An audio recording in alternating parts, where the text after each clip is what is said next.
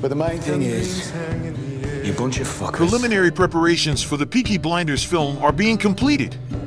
Steven Knight is preparing to bring the continuation of the world-famous BBC series to the big screen. It was announced that filming for the Peaky Blinders film will begin in mid-2024.